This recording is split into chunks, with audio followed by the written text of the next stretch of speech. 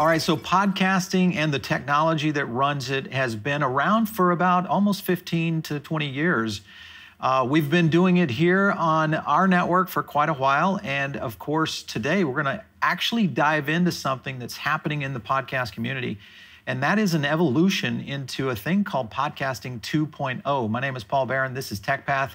Today's topic is going to go into deep talk about how podcasting or should podcasting evolve. And uh, there's only one person to actually talk about podcasting with, and that is the podfather himself, Mr. Adam Curry. Great to have you on the show, man.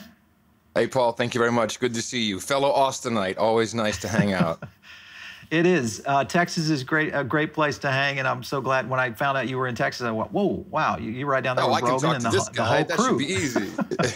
Yeah, easy. All right, so Adam, uh, obviously for for some of our viewers and listeners, uh, a lot we have a lot of people that maybe do not necessarily follow the podcasting uh, lore, so to speak. You and of course Dave Winer were really the creators of podcasting in general.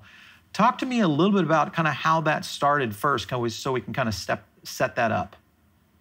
Yeah, in uh, in 2000, which really predates podcasting's traditional genesis of 2004, right. um, I was living in Amsterdam, and they had just rolled out cable modems, which was a big deal, not because you had uh, fast internet, but because it was always on internet. You no longer had to dial up. I mean, this was quite the revolution. Not everyone remembers that, but this is. Uh, 21 years ago, we were like, whoa. And, you know, this is around the time when Napster was just getting started because people could actually keep their, uh, their computers online and they could share files. And there, but there was no multimedia experience. I'd always dreamed of broadcasting on the internet from the day I saw it pre-web. I was like, holy shit! I'm sorry, holy crap! This this is going to be something great. Um, uh, but there was no multimedia experience because of the lack of the bandwidth. So it was like this click, and you waited and you waited and you waited and you saw something spinning and then it would download you had to click it and then it would open up in a player and then it was just no experience. Um, and interestingly there were a couple of streaming protocols like real audio and real video that they were trying at the time. Um, but i thought um, if you could since your computer is always on if you could have some widget in the background you can tell i'm not i'm not an engineer um, that was just sitting there waiting and when it knew there was something you wanted, it downloaded it and then told you that there was something new. You would eliminate all of that wait time. So it was just a mind trick. It wasn't all that all that hard to come up with. Uh, but it took me a while. I flew to New York actually to uh, um, uh, to try and convince Dave Winer to add this into RSS, which he had created. And RSS is a is a beautifully decentralized uh, format, really. Um, right. So a single file can tell you, you know, how to fill up a weblog or uh, or how to uh, you know how to look at a at a podcast app and what information to put in there. Um, and actually went back and forth, and he finally he finally got it after I you know convinced him by programming in his own tool there, which he said, "Look, I'll put this stuff into RSS, but you can never use my software again because that was really just atrocious what you did." So uh, I went the extra mile we played with that for about three years. Know, we just moving stuff back and forth, and he had a little tool so we could uh, essentially a proof of concept. Uh, until I saw the iPod, and when I saw the iPod, I went, "Oh, oh no, this is not a jukebox. This is not a digital Walkman. That's a radio receiver." And it looked just like my old Sony AM transistor radio, that first white iPod, you know, really heavy, got hot because it had a hard drive in there.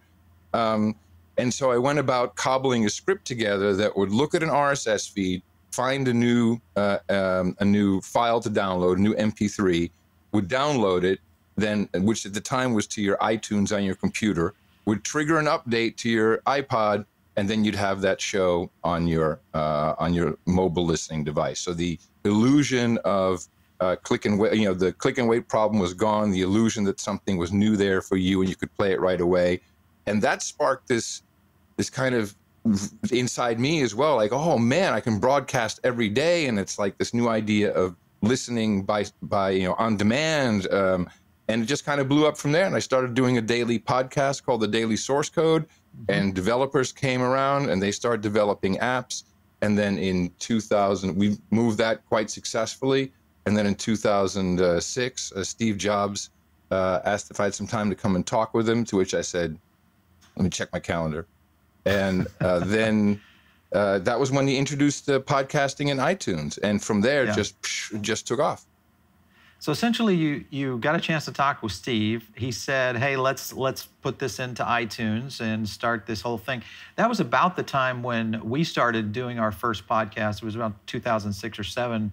Makes and sense, at the time, yeah. I, yeah, at the time, I mean, we had maybe uh, I don't know, 30 listeners, and and that we thought, you know, this is going to change the world. And and of course, it took forever, like most technology does. And then of course uh, pseudo 2018, 2019 podcasting blows up again. Um, but interesting, that's a decade later. When you saw the evolution of where podcasting has come from, uh, so you know, if you look back uh, before 2015, podcasting was still very, very um, unusual. It still wasn't a major media product. It wasn't something that people were looking at to advertise on, and there definitely wasn't as many podcasters. What do you feel like was the catalyst to, to basically lift podcasting as a medium to where it is today? Because in the last three years, it's absolutely exploded. Well, that's a good question. And, uh, and there is a history to it. Uh, while podcasting was ramping up and it was in the news, top of the tech news, one of uh, what we thought might be a competitor to the company I had at the time, Podshow, was this company called Odeo. And I, I was a little concerned. You know, sorry? Twitter. Yeah, well, exactly. I was a little concerned that you know who are these guys? What do they have? And I'd see they never launched their platform, but I'd seen it, and they had this one critical thing which I liked, which was a big problem in podcasting, which interestingly has come around again today, is subscribe the right terminology for um, uh, subscribe, literally subscribing to a feed and getting these podcasts. And these Odeo guys had uh, chosen follow, which I thought was really interesting and they never launched. They pivoted. They became Twitter. The follow thing mm-hmm. was there. It was, in essence, an RSS based site when they started, which is probably why it failed. Uh, the fail whale, as you recall.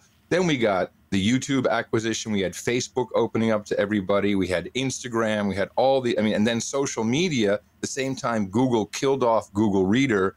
So the idea of you owning your own feed, uh, except for a podcast feed, but a blog feed was gone because your timeline is now Twitter, it's Instagram, it's uh, it's Facebook. And then um, we had the streaming uh, television providers, Netflix, I would say was the biggest one. And that shepherded in a whole new age of uh, viewing habit and, and a different type of content where a movie is now sometimes a, a, five, a five hour movie broken up into five pieces and you stream it that way and you like it. And we were binging, we were binging our asses off. And um, so as podcasting continued to grow, and it was just a nice industry, um, it had its its downside because it's by nature decentralized. No one owns it. So when Silicon Valley can't own something, they don't care about it. They really don't care. In fact, they try to steal it and try to capture it and try to make it their own. And podcasting was way too powerful at this point. There's no way you could, uh, although some are still trying, you couldn't really decouple that that whole ecosystem.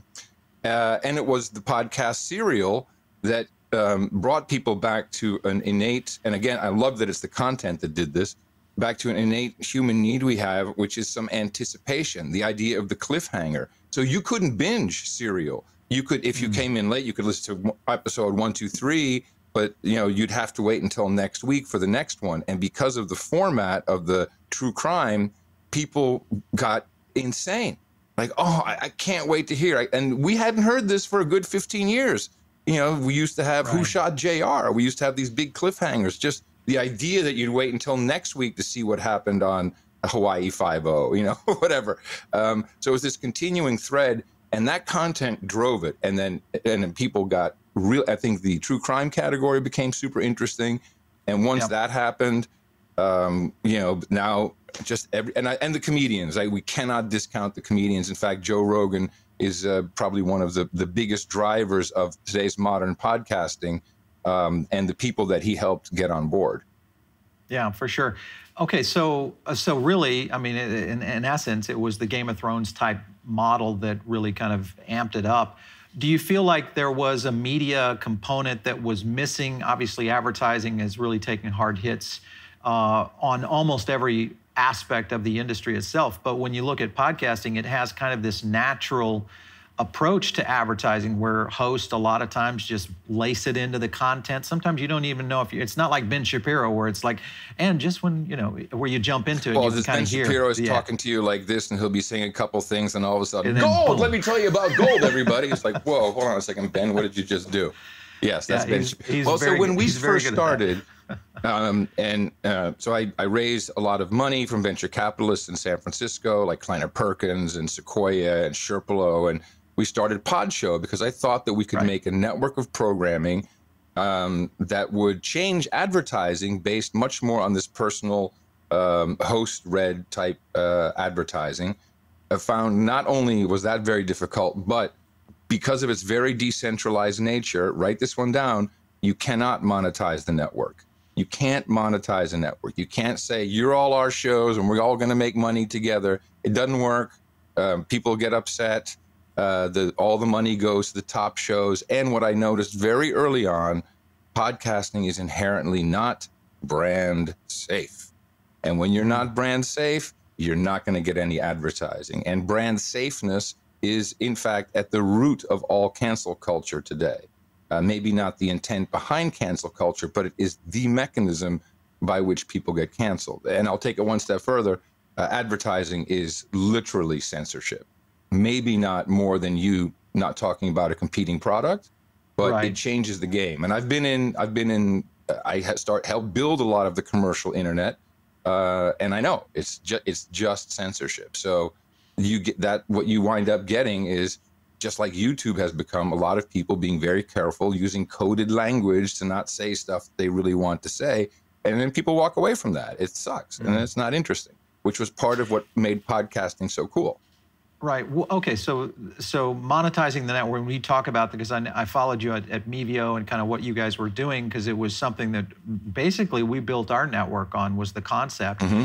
That, and mm-hmm. I would agree with you in the sense that you can't because if you look at Maker Studios and all the different YouTube multi-channel networks that were out there that were trying to do this, it was yeah, it was very difficult because you're right. You had the the top stars, and then you had the rest.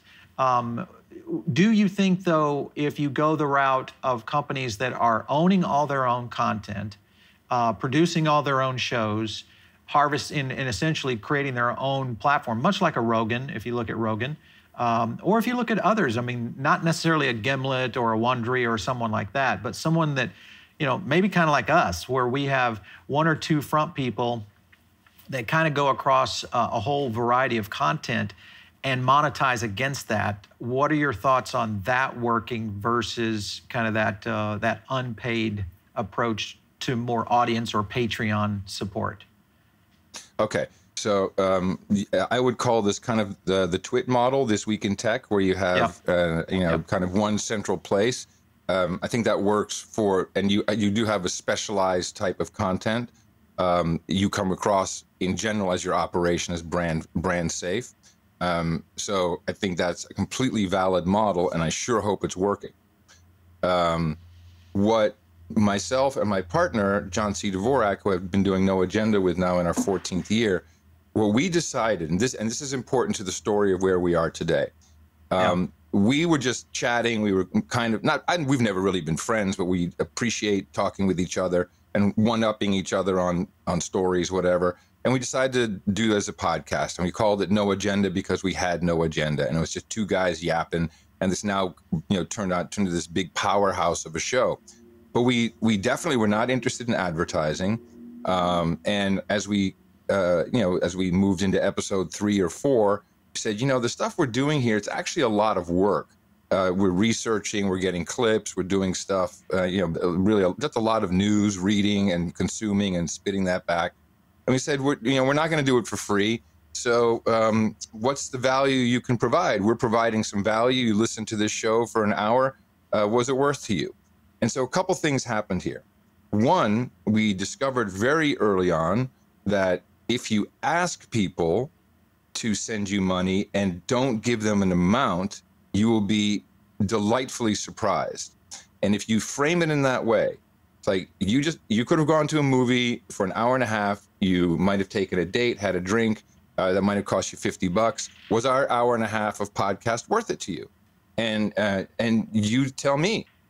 Um, and at this point, the uh, the marketplace for creative products had been destroyed. As much as I love Steve Jobs for bringing Apple in or bringing podcasting into iTunes, he destroyed uh, created the, a, a, a, a true price discovery for creative work. When I see the Beatles, I want to hold your hand in the, in the iTunes music store for 99 cents. I would pay $99 every day of the week for that song. It's the best love song ever written, in my opinion. Uh, can't even do that. When I get an app, um, the most an app developer can pretty much ask for that is 99 cents, but really 99% are free because there's there's just been this mindset of driving it down to 99 cents. So we've had no price discovery. And when you say, go ahead, what is it worth to you? A lot of people send me $5 and, and, and surprising amounts and uh, five, $50. And some sent $500. And lo and behold, there's a guy who sent $5,000. And we saw that. We went, okay, we're never limiting what you can send us ever again. And we turned yeah. it into the value for value model. And in addition to that, we said this show is not just you valuing us, sending us money. In fact, you're not even a listener anymore. You're a producer and it's your job to produce this show. And we do it with time, talent, or treasure. So you can just you know promote us.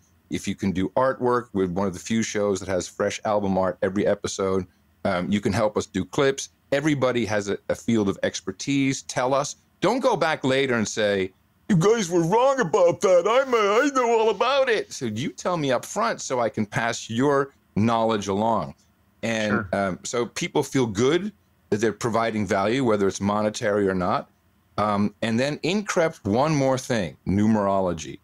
Turns out that mm. if you let people do whatever they want, they're going to send you coded numbers. They're going to send you three. They're going to send you seven dollars and sixty nine cents. They're going to send you eighty dollars and oh eight cents.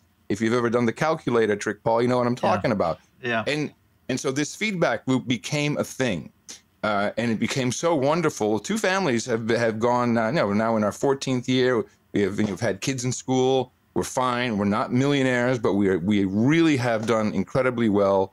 Uh, and I this is I, the longest job I've ever had, and the most fulfilling ever because it is truly valued. And I've had big TV shows, shows, big radio shows. This direct connection with the audience is just it's it's a beautiful, beautiful thing. Um, so that's the model that we that we uh, put in place, and it's good because you turns out you make more money than advertising, and you have zero meetings. And that is what mm. John and I really found important. No meetings, no advertisers, no uh, redoing of host reads, none of that. We do the show, and if you guys like, we're like the butcher. If you don't buy our meat, we're going to go away. And we're sincere about that. I mean, it was a little easier 10 years ago to say, we could be doing something else. But you know, it is true we could always be doing something else. So that's the genesis of where we are today. And we and, it, and there's a whole. By the way, we're never asked to come to a podcast conference to explain how we do it. Everyone's always running around after advertising, yeah. and so. But there was so now here we are today, um, and I'll just uh, take the liberty of probably what your next question would be is now podcasting 2.0 because something very interesting happened in relation to this Genesis.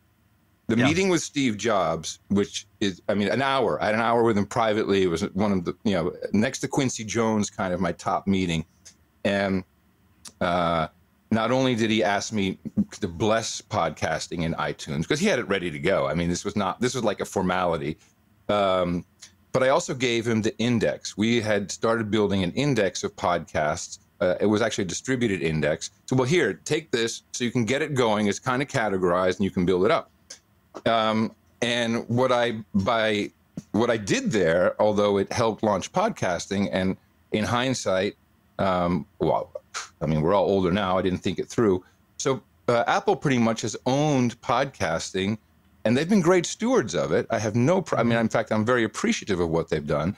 But you still have to go through their process to get listed and then all of a sudden there was uh, in the in the in the 2020 yes 2020 cancel maybe 2019 you know cancel can and volley um, right. a number of podcasts uh, including fellow austinite alex jones were uh, taken off of apple And this was significant because um, there are very few, or there were very few independent podcast apps. Uh, the ones that were out there did not have the resources to create the infrastructure necessary to run an index because you've got millions of feeds, you're indexing, it's a lot of work. So they uh, give their access to their index through an API to independent software developers who make these almost free apps. Um, and all of a sudden, uh, Alex Jones and a number of other podcasts were gone from their um, uh, from their uh, podcast apps as well. Now, that's one part. The next part is Joe Rogan uh, left the the public ecosystem, and he right. went uh, behind uh, the walled garden of Spotify. So now, if you're an independent app developer who really makes an important part to the whole loop, I'm the transmitter with my feed. The app is the radio, and we we take radios for granted. But if it's only Apple, Spotify, and Google, well, that's not going to be good. Um, and if the independent uh, developers are a not able to um, uh, determine what they want in their database, but um, also uh, are not in the deal flow. They're not a part of advertising. They're not a, po- a part of the host reads. They don't get anything. They can throw an mm-hmm. ad maybe. So we were losing our our our ability to um, have anybody build a radio that would work with this kind of stuff. At the same time, there's one or at least one company controlling the content. So uh, I decided we had to do two things. One, we had to preserve podcasting as a platform for free speech. Uh, that means that we have a, uh, an index, podcastindex.org, which is completely independent. Um, it is uh, value for value based, and um, we are we operate under Section 203, so nothing can be taken down. Of course, there are valid law enforcement, et cetera, which we have to adhere to, but that's not we have not encountered that. Um, so that's one. So if you're in the database, you're in the database. You're in the index, you're in, and you're good. We're distributing that so anybody can have a copy of it. We'd like it to be functionally distributed uh, uh, and decentralized.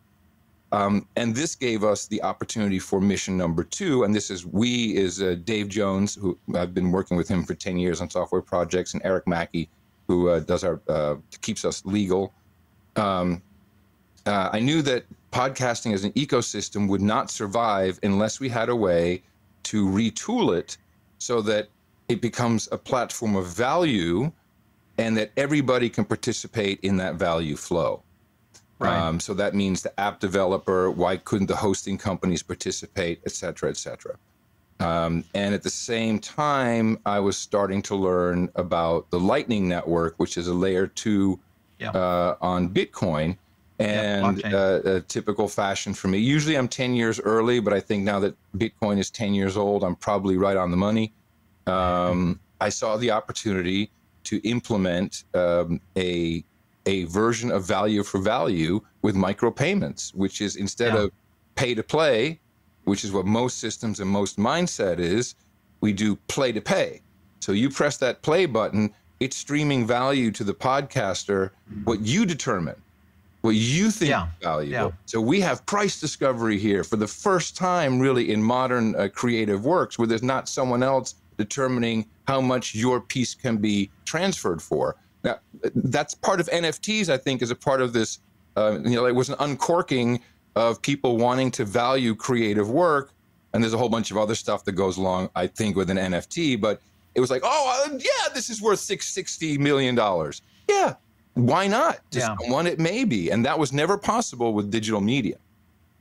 Well, and, and you're right, because I mean, things like Patreon, the first thing they do is they put a price tag on at different levels. So you're, you're right, there is no price discovery in there. And you and can do, get deplatformed down the line from their um, exactly, from their payment Patreon. processor. This is this yeah. is the next problem that that that you know I I thought and I think that uh, our system will solve. Well, okay, so there's a lot to unpack here because when you look at it, I have no elevator pitch, uh, man. I'm sorry. It's yeah, very, that's uh, freedom is always complicated. You got you got to work on it. it's an evolving process. Um, all right, so so the evolution of it is to get to the point where essentially you're you're talking about a true decentralized network, which is essentially what Bitcoin is, the blockchain in general. Mm-hmm. Kind of why that technology is advancing so much with kind of that one percent of the technophiles in the industry that really watch this show are are moving fast into Bitcoin and other kind of blockchain technologies. So what what you're saying is that um, essentially advertising goes away potentially if this were to be adapted into other media companies, because if you could imagine any media company that would just move to a blockchain type uh, model of how to distribute the content, you're no longer needing the likes of a Google, a Facebook, a Twitter, even so to speak, because much like your own podcast, you're using the value of the network itself to self expand. With with that kind of as a model with podcasting 2.0 how does the technology attach in to the blockchain and how does a satoshi get passed over? Where, where is that technology starting to plug into the rss i guess? Okay um, so in order uh, let me think of the best because there's a couple things we can talk about. Um, so i do want to come back to the advertising because it's not mutually exclusive and there's reasons right. why i'm saying that. Um, so if you look at first of all i'm a bitcoin maximalist so i i, I think that bitcoin has inherent properties that make it successful um, yep. that make it truly immutable and no one's in charge of it it's just this alien thing that's kind of running and everyone keeps the alien spinning uh, it's very different from um, uh, cryptocurrencies that still have some other entity that that has some control over it so sure. a blockchain yep. is not the same Stable as bitcoin coins et cetera now the yep. problem with uh, bitcoin is the the transfer time. So you know, mm-hmm. in, and it's it's not very efficient with fees, et cetera, to send you know micropayments.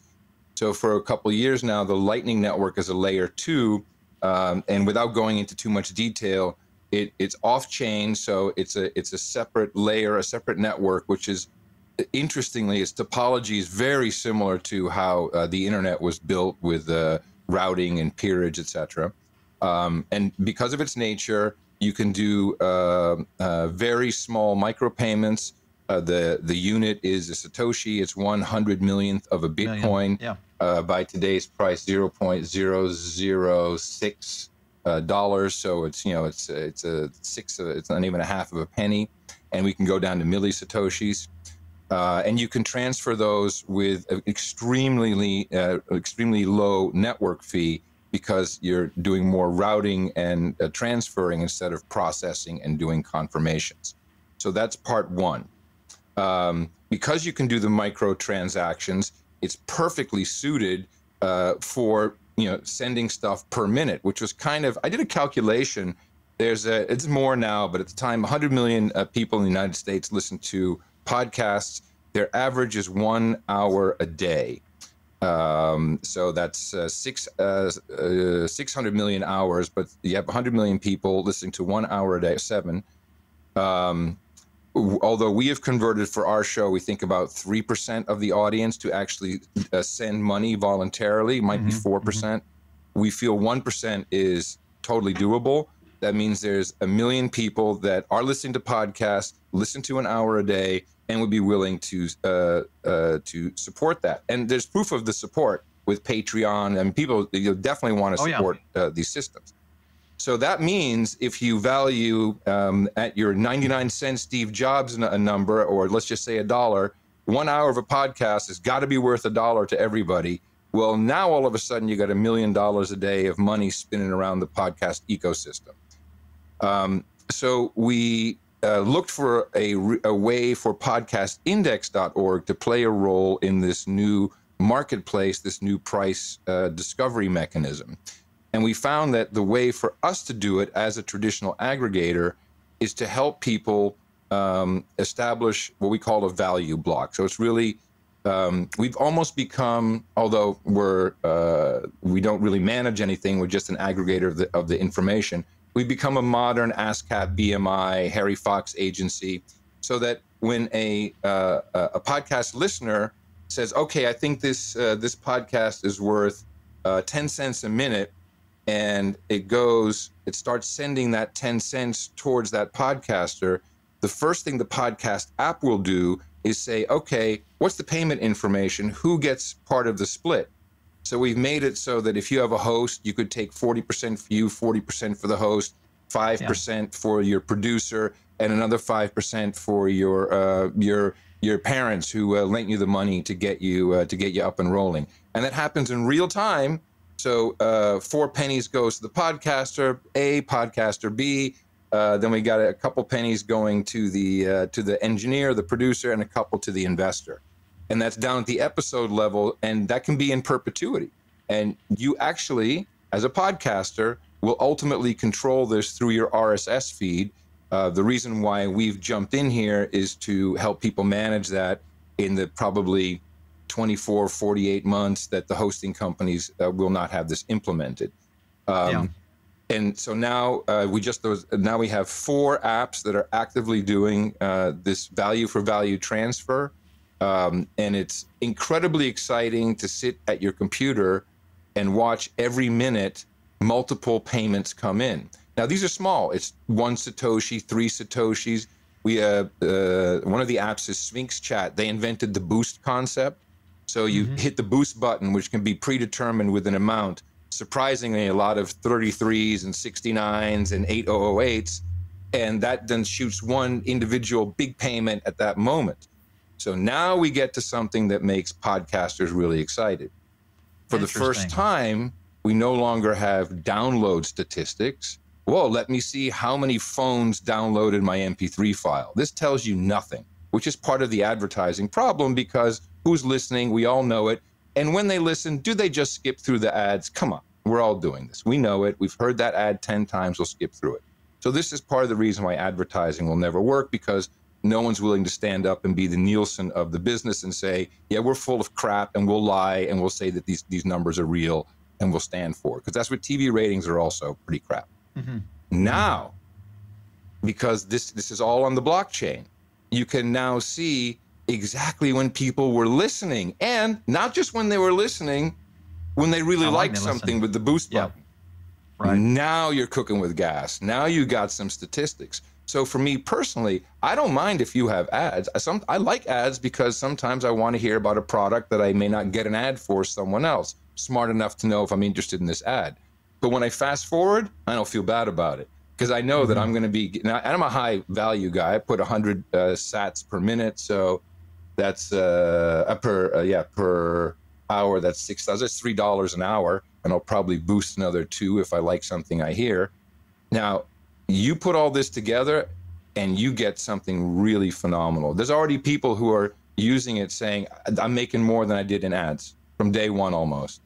Um, so it's small, so for someone, but it's yeah. Yeah, for someone to get involved in it. So you said you had three different uh, applications that are, are running with the 2.0 version now? What yeah, which well, which well, podcast apps? Well, um, yeah. So so podcasting 2.0 interestingly grew into something much more.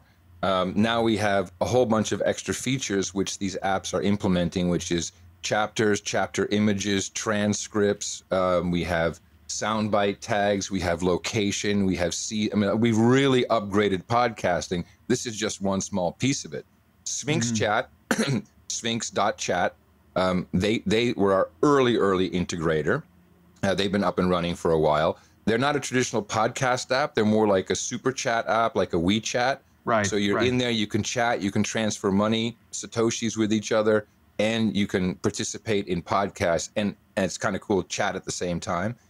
The Breeze app, excuse me, B R E E Z, Israeli company. Uh, they came out with the newest version of their their Bitcoin wallet and has a podcast player in it, and it is phenomenal. Um, mm-hmm. so they, and they're a new entrant, and they they've been going for about a week now.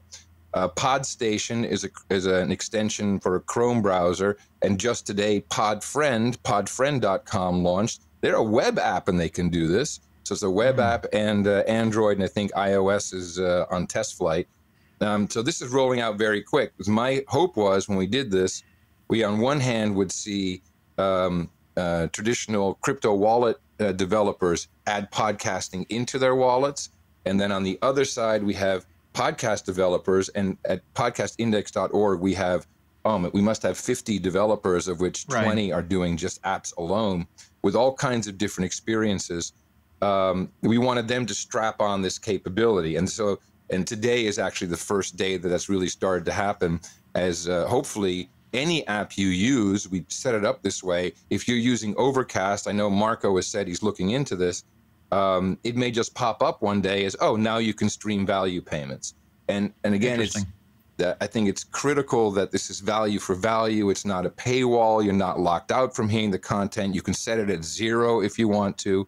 But as it turns out, if you remove all the middlemen and you let the consumer of the creative work determine the value, which is, I think, the definition of value can only be determined by the person holding the value, um, then you'll see that we have a very vibrant system and a lot of, uh, I think, a lot of shows that will be uh, supported quite well in uh, probably the same manner they were with Patreon, without the downside of being uh, deplatformed from an index or being deplatformed financially and being locked into their pricing schedule. Quite honestly, yeah.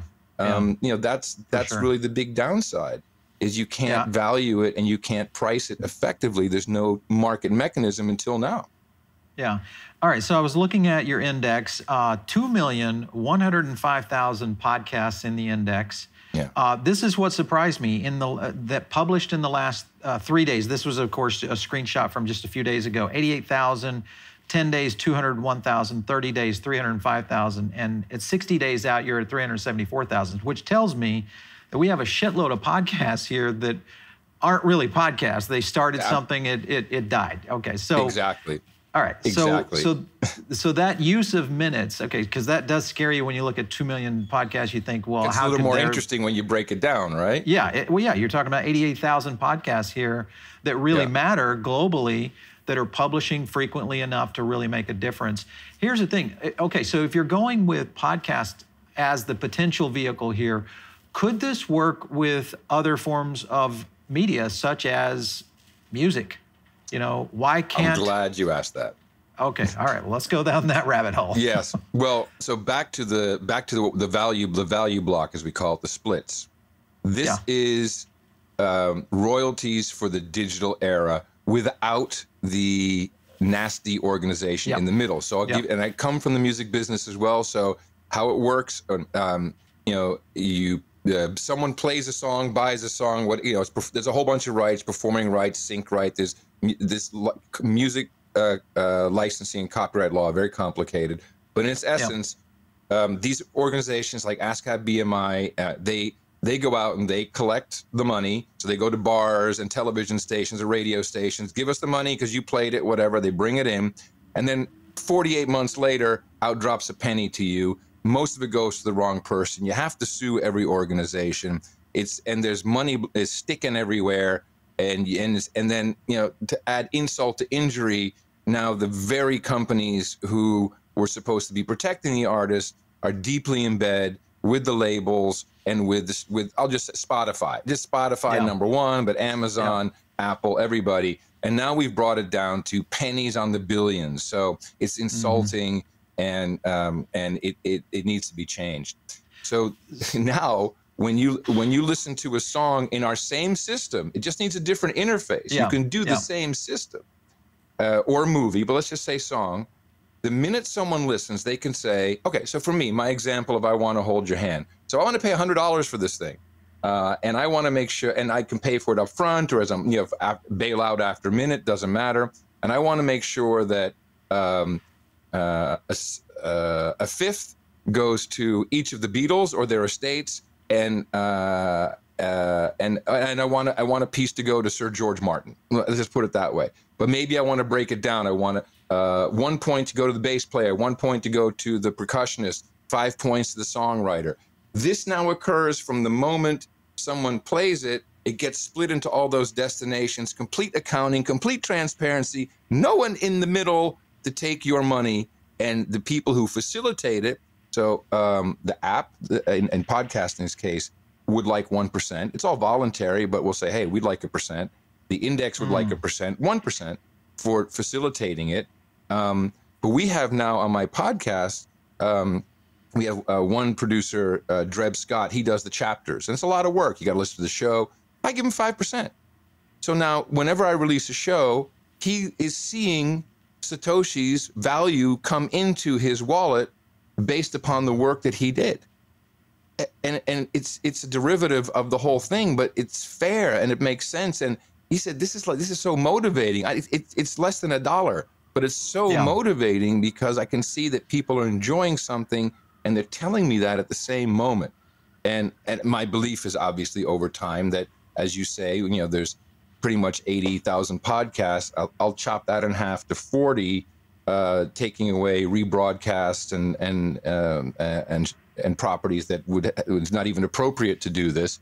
And now you're talking some real interesting uh, distribution here. If we can get the audience comfortable with it, and and so the, what I liked about Podfriend today is now just if you're playing a regular podcast, all of a sudden it pops up. It says, "Oh, you can boost this, or you can set a, a number of um, a payment per minute." It just it just got added. Uh, yeah. So it's real, you know, that's the kind of stuff that you want to see, and and, and the onboarding becomes um, much more seamless than uh, than you might think it would be the minute you put Bitcoin or crypto in front of something. Yeah. Okay. So Adam. Okay. There's a couple of areas. One is um, maybe you should not be taking any small uh, flight plans anytime soon. Because what yeah, stay out of hot tubs, uh, no general aviation. Yeah. Yes, now uh, these are very, these are very. Thank you. This is why I call myself the crackpot on uh, our podcast. I'm crazy. No need to kill me, people. You know, no need. I'm good. I'm just nuts. The, Thank you. Okay, so this this essentially uh, replaces the very business model of Spotify. Uh, yeah. Just about any distribution of content out there. If if something like this were to actually move forward, and with the speed in which crypto and the blockchain is moving, the likelihood of, and I've, I've had, I study what Raoul, I don't know if you've ever looked at or listened to Raoul Paul over at Real Vision. Of course. Really, Are you kidding me? So, Ron Paul, so, 2008, you know, uh, audit the Fed, please. No, Raoul, Raoul Pal. Oh, Raoul Paul. Raoul. Oh, Raoul Paul. At, yeah, at Real sure, Vision. definitely. Yeah, so he he's going down this direction of that the digital e-commerce is we are at the precipice right mm-hmm. now Bitcoin is simply the, the, the, predicator of what's going to happen, in that we eventually are going to see a complete transaction within the, the virtual space. It's happening in gaming. Uh, we're already seeing it moving. Gaming is probably leading the way in terms of where transactions yeah. could occur. Definitely. Uh, so, with that being the case, especially as artists, I'm surprised that uh, maybe a few artists have not jumped in into this especially someone maybe even like a Joe Rogan, which uh, I mean, here he's stuck over at, I feel like he's stuck over at, at Spotify, having to, you know, perform for the man over there. I don't know if that's the case.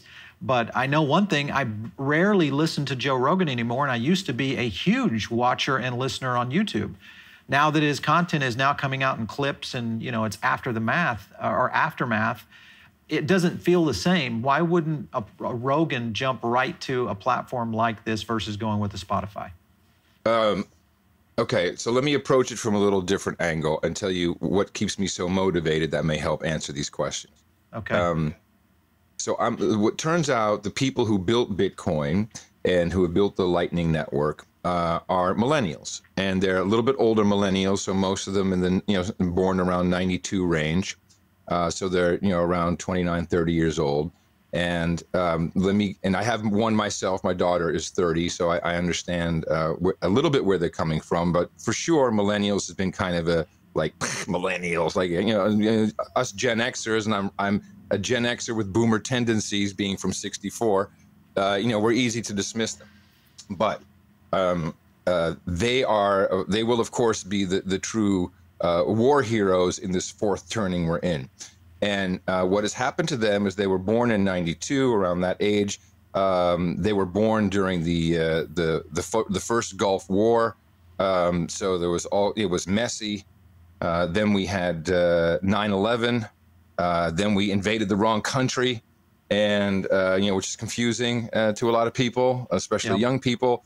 Um, and then we had the 2008 meltdown, and uh, they've all come. Uh, those who went to college have come out. They have hundred thousand dollars in debt. They have a fifteen an hour dollar dollar an hour job, and they're sick of it. And they're sick of the people who screwed it up. They're really sick and tired of it, and they're checking out. They're not interested in mainstream media uh, uh or M5M as I call it. Uh, they don't care about uh, the the typical news. They and and they're smart, and a lot of them have figured out. Oh, wait a minute I have absolutely no chance of winding up with a house and a dog and, and a family if I continue to follow the system. My money devalues by 10% a year. Mm-hmm. Um, uh, oh, thanks for the stimmy check. So this is where GameStop comes from. Yeah. GameStop is not what the media tells us it is. GameStop is a very understandable, very beautiful reaction of uh, of people saying, you know what, I'm sick of this crap. And in case people haven't noticed, it ain't over. The mm-hmm. GameStop is not over. There's still a huge systemic issue inside Wall Street. If you go look at the DTCC and how uh, trades are settled and how there's so much phantom stock running around, and that's what they're caught in. And so GameStop is a version of, you know what, screw you guys. We're, we're not going to be a part of that. The the the more positive, uh, energetic love part, which I like, is Bitcoin because you can take it in the philosophy of Bitcoin. When no one controls the money, there's much less reason for war. Um, no one can confiscate your money. Uh, at, you know, to the ultimate security is you have your seed phrase in your head. No one can take that from you, uh, at least not yet. Elon Musk may yeah. at one yeah. point with his Neuralink, but so so it represents freedom. It represents harmony. It represents love. And if you look at the diversity, although I would say I'd love to see more women in the trenches, a lot of them are more at the top of organizations. And maybe that's a natural order of things. I don't know. Maybe Cleopatra it was right. You know, we all should be serving the queen. But it's incredibly diverse, it's global, and everybody works together to make it work. It is reminiscent of the early internet when we were building routing and peering and uh, and border gateway protocol it is right. reminiscent of the first round of podcasting. It, it is it is a deja vu almost for me. But so for me, what keeps me motivated is I want them to. These are the Zoomers now who will who will benefit from this. So I want the millennials to succeed. I want them all to be fabulously secure. The days of uh, I've got Bitcoin and here's my Lambo, they're over. That, that was you know that's the the short sighted uh, uh, group that that have kind of been you know they've now been past the the roadside. And what we see now is Bitcoin is a big black hole that is starting to suck everything into it, including the establishment. So right. that is the ultimate victory for the millennials. And along with that, I think we bring the first use case for Bitcoin, whereas we've had all this, okay, you can store your money in it and, and your money, yeah, Bitcoin, the, the slogan is money printer go burr, Bitcoin go up, which is pretty much a logical uh, yeah. uh, uh, uh, calculation, and we're seeing it again with the with the stimulus uh, proposal. Um, now it's okay. I can actually share some of this uh, with things that I value to people that I value, and it's not a corporate controlled system, a global banking cartel that sits in the middle. People who get a piece of these payments that I am happy to give are are keeping the system running. What that brings you is usually one or two more steps to get it working. Um, yeah. So when people say, gee, PayPal is so much easier, well, sure. Have you ever been blocked by, by PayPal? Has your money ever been frozen by PayPal? It's scary when it happens. Um, now, yeah. this, so freedom, as I said earlier, um, it takes a bit, you know. So I think we've made, brought it down to the level where it's relatively easy uh, to get on board. You can now even get the Strike wallet app, which you connect literally like Venmo to your bank account or your debit card, and you can you can fill up your your podcast wallet uh, to your heart's content and uh, and go and stream away. Um, so it's um, uh, yeah, I think by the time they figured out that they need to come for me in the hot tub or the or the or the small aircraft, it may be too late. Maybe because I think it's I think it's sucking people in. It really is. It's beautiful to see like this. Everyone, you know, and it's yeah. laughable when you see these hedge funds or you know Michael Saylor, Paul Saylor, whatever his name, Michael Saylor. Michael Saylor. yeah, borrow a billion dollars at you know zero percent and then put it in Bitcoin. It's hilarious. Do they not see what's going on? This the whole system is going to suck into this hole eventually. So do you it's, think it's a beautiful that, thing that to be part of. It is. Do you think though that with Bitcoin's scenario, uh, we'll just use Bitcoin because obviously it's the you know it's the big boy in the room in, in terms of blockchain. Can the governments actually come in and start to implement restrictions and or regulation that potentially could kind of offset this or do you feel like it's just so big now it's kind of snuck up on everybody i think even global you know global uh, lawmakers probably just weren't ready for where it has come from do you feel like it's safe or do you feel like it's going to be one of those things? Obviously, you've bet podcasting 2.0 on it. So, mm-hmm. what are your thoughts? Well, let's take a look at the at a real world scenario. Let's look at Nigeria. Nigeria uh, is uh, you know hyperinflation. Uh, they've got all kinds. They've always had issues with their with their money. Um, yeah. There's a lot of restrictions, and you really can't send money out of Nigeria to any of, any of the neighboring countries to do any kind of cross border trade. It's tightly controlled, um, and so the Nigerians who there's a reason why they trick so many people with their Nigerian princess scam is because they're smart and they do the yeah. work and they figure it out and they figured out how to trick your brain and they they did well at it. Um, so um, uh, they so in Nigeria, uh, in 2019, two billion dollars in remittances came into Nigeria because Nigeria, the true um, the true wealth is the people who go out into the world. Uh, they go to other countries, they become successful. They can't do in their own country, and they send money back. That's your mm-hmm. remittances. So $2 billion of the Nigerian economy is coming in from Nigerians who have exported themselves to help their families. Uh, in 2020, that was from 2 billion went down to 50 million. Uh-oh, what happened? Because it was coming in in Bitcoin. They cannot stop it because it's like email. It's like yeah. email. It's like if can you stop email? Nah, you can do a lot, but can you really stop it? No, you can't. So that's it's it's immutable that way. Now the transfer from uh, Bitcoin or any uh, cryptocurrency, which in the United States is now deemed as property, so you have capital gains tax or loss. Um, that can be highly regulated and thwarted, sure. and they can do all kinds of stuff. Sure, um, but I can still go to any coffee shop anywhere in the mm-hmm. world, and I can find someone. I'll say, "Listen, give me a hundred bucks, and I'll give you my Bitcoin right here. Or uh, I got a hundred bucks. Uh, you want to send me some Bitcoin? I'll hand it. I'll hand it right over. This is what this is how Nigeria operates. Yeah. So you no. The answer is you cannot. Um, now, is there a lot of are there a lot of people out there with an agenda who want to make it sound scary and will uh, advise you not to? And oh, please wait for the U.S. digital dollar because that'll be the yeah. one you want. um, you know, when they really control your money, when they can absolutely do anything, including devalue it right before your very eyes. Um, so, yeah. uh, it, so the answer is no, uh, they can't. The governments can't stop it. Uh, will look. I've been a pirate all my life. I was doing pirate radio uh, when the pirate ships were still in the North Sea. Uh, we had Radio Caroline, Mi Amigo, uh, Veronica. I was a land pirate in Amsterdam. Um, it's you know, did I get into trouble? Sure, we got all kinds of stuff. But you know what? Um, eventually uh, it turned into podcasting. So, yeah. so, so it's just it's just the mechanisms and uh, and the protocols that you use. And now, for the first time um, with Bitcoin, we have something that truly belongs to the people, and no one can no one can mess with it. Interesting. We just had Michael Saylor on on the show talking about this, and he's definitely in that camp of you know it's pretty much untouchable. This is just where it's going to go. It's just it's just a matter of time before the transition of both wealth and uh, the digital connection of how we move currency around, or not even currency, just value, moving value, moving value around. Because uh, value is, it, yeah, yeah.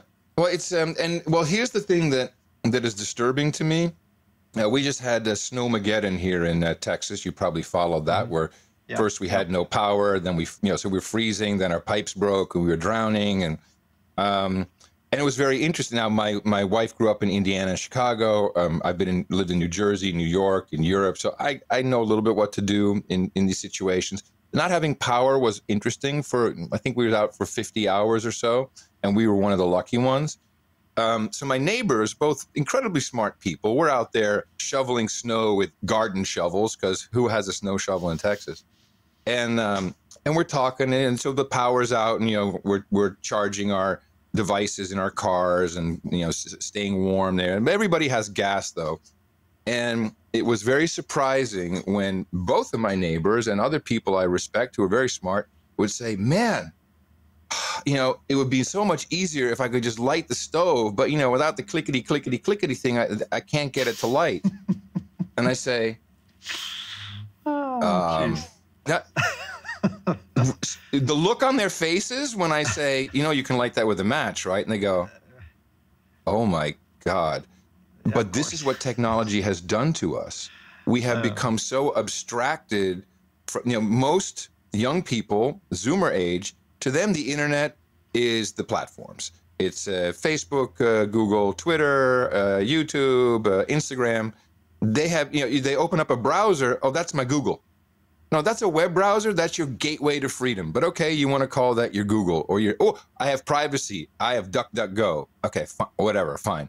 Um, completely unaware of what you can do with this network. We, for 14 years, we've been doing a show outside of any big platform. Our, our, our hosting and bandwidth, which of course one of our producers has been managing for a decade, is $500 a month, even though we have 1.4 million listeners, more or less. So, you know, so that's a lot of data being transferred. Um, we, you know, there's all kinds of uh, smart ways to do it, but but more importantly, we're lacking in education in our young people today. Instead of saying, "Oh, we've all got to learn to code," girls learn to code. No, why don't you, as parents, take some responsibility? Get get that old laptop from the closet, throw it in front of your kid with a Linux uh, distro, and say, "Install that." And then I want you to set it up, and then I want you to set up your email and then you know what? Why don't you set up a web server? Just do that. Yeah. And that that kind of education, so you just understand the fundamental basics of the network, is as important, if not more important, than understanding the fundamentals of traffic and driving and machine performance when you get your license to drive. These are important yeah. things. You need to understand what you can do because the back roads can really get you to somewhere to freedom much faster, but you have to be careful so we need education in this area instead of just here's your app. And good God, people, stop with the with the iPads and the phones and your toddlers in there in the uh, in the in the baby carriages. You have to stop this. No more in the stroller. You are ruining your children. You have no yeah. idea how destructive that is. Well, and, and okay, so I want to jump back. Lots of lots of variation there. I want to jump back to advertising because you, you were gonna gonna kind of go in that direction because that's kind of the question I have in in in lieu of with the shift over to RS or excuse me podcasting 2.0, um, the ability to insert advertisers or or get maybe the advertising community because at some point the value might come from an advertiser that just says, hey, listen, we don't want to go through an agency, we want to go direct to you. Uh, and we want to be able to contribute what we think is valuable for that you know opportunity. Do you ever see anything like that implementing into the system? Of course. Otherwise, other I mean, than just just the listener. Oh yeah. Oh no. The beauty of this is again, it's all open. So the, our, this entire system can be used in any any way. There's no there's no uh, religion to it uh, other than just yeah. the formats and the protocols. I see a, a, very easy world. So I listen to a number of podcasts and um, uh, some of their sponsors. I've heard it. I don't need to hear that anymore but some you know that's like oh that's an interesting service and i would probably only hear about that that product on that particular podcast and i will listen to it uh, with the model and the reporting and all being open transparent and available on the blockchain this is the moment where even if someone is sending one satoshi even the host could say well you know you listen to the ad and you're not fast forwarding through it um, i'll actually get uh, uh, a 10 times payout from the advertiser based upon what you sent me so if you really, mm, so it's like uh, okay. uh, like NPR would say, we've got a matching donation. I mean, I can come up with a million of these ideas. Yeah. One, and the, yeah. again, we now have the listening statistics. It's never been available. It's all horseshit. If they say, I know how many people are listening, no, you don't. You know how many people downloaded your file. You don't know anything about that. It's yes, there. You know, because of the way it's transferred, there are there are enough metrics out there to get an estimation but it still doesn't really show that someone listened and cared about it. If they're sending right. even one sat a minute, they care about what they're doing, or they, you know, or, or they're on autopilot and the plane's going to crash. I mean, then they just yeah. don't know what they're doing. So that, as a as a statistic, is incredibly valuable. And again, to me, if I, you know, so now I listen to uh, Tales from the Crypt, which is a Bitcoin podcast. Marty Bent, kind of famous guy, and he has six minutes of ads in the beginning and I'll fast forward through it while I'm at a at a hundred sat a minute uh, value uh, value payment, and I'll stop if I listen to something, but I don't feel bad about it because I know that I'm going right. to listen for another hour and a half, and he's going to get all the money he needs from me, more than he got from me from listening to an ad. Where do you think, and what do you think is going to be the formats that will really prevail You know, because like in TV, it was the you know it was the half hour, one hour show. In streaming, it's the you know it's the movie or the short film. There seems to be a format developing in almost any media. Where do you think podcasting 2.0 will develop in terms of format? We're going to find out because we've we've changed a couple of fundamental things. Um, no longer do you have to wait three days to get your podcast listed through the Apple process. No longer do you already have to feel like you are begging uh, for approval from somebody to get this done. Uh, I believe uh, one of the best form in a format that I'm very excited about uh, would be a professor who can decide that he's going to put all of his lectures onto a podcast and he's going to do it uh, right after his three o'clock class. He's going to set it up and it's going to be ready and available for his four o'clock class. Good to go. Um, you know, forget what you know, and with with uh, it's almost like a slideshow now with podcasting 2.0 features like uh, chapters, chapter images, etc. It become becomes very instructional. Uh, I want to see that. I want to see. Um, I want to see people who have the opportunity to do it the minute they're inspired uh, and have an idea. I think that we're losing 90% of all the, the cool formats and ideas and concepts because of the constraints that it takes just to get on it. Uh, a part of that is video. Uh, the podcasting yeah. ecosystem completely works with video. Most of the players right. work with video. MRSS. We have a different problem. Yep. It, well, the, the, the different the problem is um, the cost. So the hosting company, which that is not really decentralized very well, and that is also mm-hmm. on our roadmap. Um, hosting companies have a very tough calculation to make.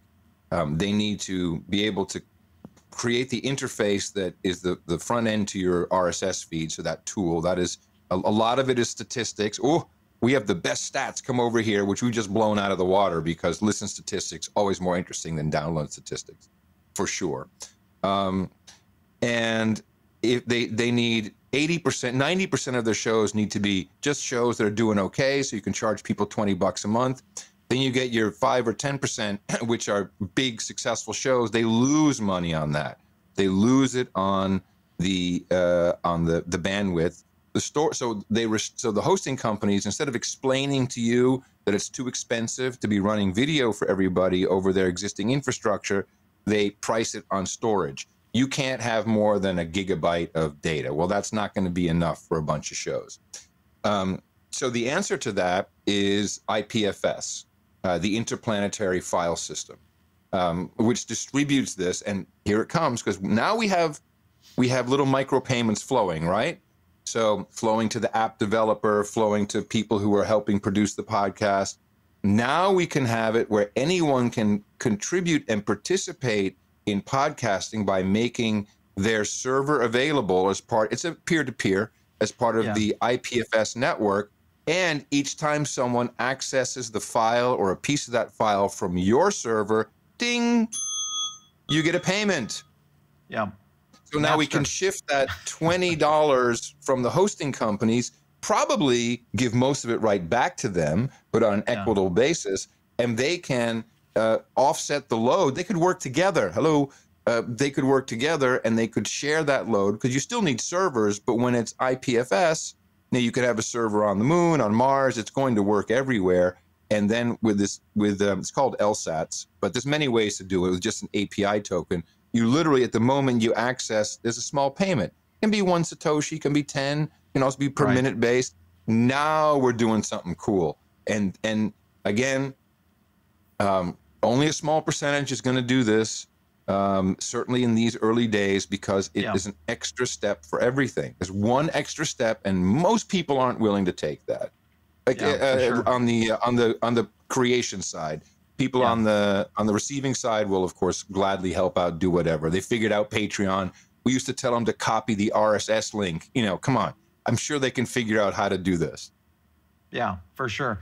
All right, so to, okay, so I, I, see that going. You're you're saying though that potentially video, because that, that's the big issue right now. If you're trying to host a sure. video podcast, we kind of made that uh, determination a few years back when the cost to serve a video podcast up to iTunes was actually very expensive.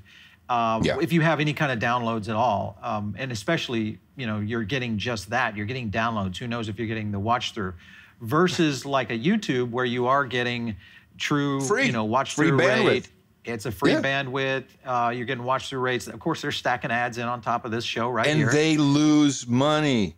yeah. They lose money on YouTube. Of course they do, but they don't care. How, how is okay? This is a whole nother conversation on just monetary theory of where this could go. But all right, so let's go back to the my questions here on podcasting.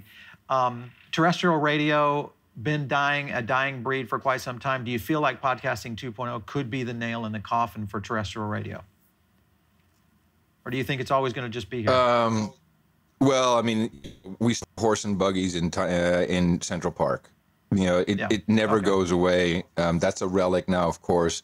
Um, transitions like this, this- yes, radio radio is now so bad they they cannot afford local programming Yeah. even. And this was a great lesson for me. So I, I I don't like saying anything's dead and inanimate. You know, an industry isn't just dead. But um, you know, so we had this uh, Snowmageddon. And first of all, I'm a ham radio operator. There was my first disappointment. Where all the ham radio operators were going to save the world. I mean, I got my rig up. All right, everybody, what are we doing? We're coordinating, and all I got was, "Oh, mic check." Like, okay, so that's not what I thought it would be in an emergency. I turned on uh, KX um, KUT. I turned on uh, the NPR station. This is Terry Gross. Good morning, fresh air. And I'm like, holy crap, we're in the middle of a crisis. I had to go to Todd and Don in the morning on uh, on KLBJ, who are just kind of like morning talk show guys. You know, they they they'll they'll touch in the, morning talk show. guy- They were the best. They had listeners calling in, like, here's Yeah. what I'm seeing. Um, now, the nature of podcasting doesn't allow for that, but that showed me, uh, you know, and KLBJ is a, a, a you know legendary station in uh, in Texas, um, and it's it's just on the air. I mean, the people working there are making twenty five thousand dollars a year. I mean, there's no money in it whatsoever. So, boy, do we need? Do we still need local radio? Yeah, I feel so. Could it be delivered by any number of mechanisms? Yeah. So it's more Yeah. the format of local radio, community based radio, which is important. And I hope we don't lose or that it morphs into something um, because that's important. You need your hometown uh, outlet. And where I think, to answer your question, uh, that's something that people will probably be readily willing and able to support with value for value payments to keep that Right. going. Uh, and Well, I we don't have to do the the week long uh, drive of you know you'll get a tote bag if you send us five dollars. No, just do it while you're enjoying the show. That's uh, that that Yeah, is my sure. vision. That's my dream. Which can definitely happen, I think. Uh, Okay, so what are your last question here? Is your thoughts? Uh, Please ask me more. Don't stop with one. Come on, Paul. Uh, I could ask you a million, but sure you uh, could. when we go into a Westwood, someone like a Westwood One, who's kind of trying to create that collection of of podcasts to create somewhat Mm-hmm. of like a podcast radio station, is that a potential that could spin out? Is there any commercial gain for companies that could be going in that direction to help maybe these emerging podcasts who can't sustain on a 2.0 platform themselves, but yet they're still great content, great artists, whatever it might be. It's kind of like the um, you know the emerging artist in music. You know, there there has to be a path for those to eventually become powerhouses. Do you feel like a Westwood One or companies like those could become, you know, the new? I mean, it's kind of like a Mevio, almost in a way, uh, in a 2.0 world, where you are getting, you know, other uh, potential artists moving into the podcast world. Otherwise, you're gonna. It feels like the cream might rise to the top, and there may be no room for, you know, guys like me. You know. Well, so, so I. I I have to reject a couple premises there. Uh, One is that if someone has outstanding content, then there Yeah. will be someone to pay for it. You can't tell me that that there's no way for us to make money, even though we're great. And you know what? A lot of podcasts suck. So we just have to admit That's it true. Yeah. and move on. Now, I I uh, believe, and I have enough examples that you can take a podcast from zero in asking your audience to support you, and I think the proof is there in Patreon. Yeah. These are not Yeah. huge podcasts. There's people making ten bucks a month in Patreon, so the proof is there. It can be done, and and I you know I don't know if something's good or not. Uh, you can say Yeah. this band is great, and I'll be like, whatever. So I'm not going to support them. You will. Um, and so by rejecting those two uh, premises, it kind of uh, removes the whole idea of the necessity for a network. That's what I figured out. If you do the network to have the small person uh, also be able to survive and get a piece of it, it just doesn't work. It's it's there's. Yeah. I mean, I've tried it. I've seen it. I've seen it been tried.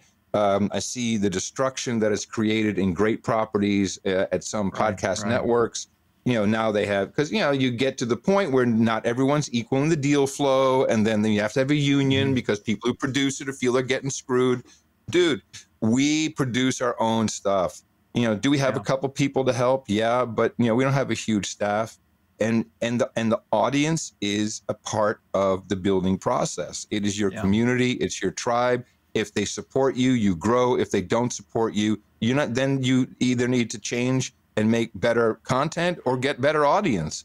But you don't yeah. need a network for that. That is the antithesis of the future because you are always going to be working for the man. And this mm-hmm. that's what freedom is. Freedom is I own this. I own my yeah. feed. I own my node, so I can I own that's my basic bank. I get my payments, and I'm going to try and make this work. Just like if I'm if I'm a busker you know i'm out there as my content if people like it they will give me money they can determine how much um, you know i can make a living off of that um, I'll, uh, you know i may have my regulars there's the guy that guy from central from central park uh, he's the guitar man he's been doing it for 25 years just, he sure. does he does a broadway show every year uh, from the proceeds he has enough left over to do a whole show with as many people in the audience as he can get to normally see him in central park so this is just a mindset it's just a mindset. Yeah. When you're born into thinking you got to work for the man, then this. Now with your with your operation, man, um, I completely believe that your audience will support you. But it's not yeah. an either or thing. You don't have to do one or the other. You can do both. Let the audience sure. help you figure it out. Yeah, yeah, for sure. They're an active participant. That's that's the big thing. They're active participants in this in this game now. Yeah, and you're right. I mean, the the whole creator community has uh, flourished. The cool thing is, is that the nice thing, I guess, is that all these platforms have enabled a ton of creators to kind of get into the space. I mean, when I started in media, it was just print and email, and that was it. And you know, trying to get and talk the man into going into podcasting, you know, 15 years ago was like you know pulling teeth, and trying to pitch them the idea of something we're doing here that was absolutely, you know, uh, it was foreign to them completely. So yeah, yeah, mm-hmm. they, they, just didn't move in that capacity. Now I think we're seeing so much more uh, speed in, in terms of transition of media and and just also just content in general and the creative side of it of where it's going. Uh, we've mm-hmm. seen that here in our own uh, show for sure. Listen, man, Adam Curry, wow, thank you so much for the interview today. Uh, hopefully, all you guys out there listening and watching right now uh, have had a great joy with uh, having Adam on. So thanks again for stopping in. We appreciate it. Paul, thank you. Uh, I really appreciate it. Um, of course, I first got turned on you when uh, when you had my friend Andrew on. I'm like, oh, okay, so this is something worth watching. Uh, yeah. It's really enjoyable, and I really appreciate you letting me go wild on my rants because I, I kind of have a two modes, an on or an off, and hopefully you were able to Not distill it for the audience so that they kind of get what I'm talking about. But um, it's really good to have someone take it seriously from this angle yep. the way you have, because um, yeah. I appreciate that. This it's it's often glossed over, or people yeah. don't want to do the effort to understand what's happening and are scared away by buzzwords and and FUD that's uh, spinning around. So it's, oh, yeah, it's really sure. appreciated. And uh, anytime you uh, want to consider value for value, if you need any help setting up, let us know. We'd be happy to, to jump in for you. I will. I'm, I'm going to shoot you an email on that uh, process because I think it's something very interesting for sure. All right. So thanks again, Adam. Um, all of you listening in, of course, over on the podcast, whether you're on iTunes, Spotify, Google, anywhere you get your podcast, make sure to leave us a rating and also give us any comments that you think, hey, let's get someone else on the show that you want to see or hear um, for TechPath. We'd love to hear that. If you have an idea for a show, just shoot us an email to producer at revernetworks.com. And you can always hit me up on Twitter at Paul Barron. We'll catch you next time right here on TechPath.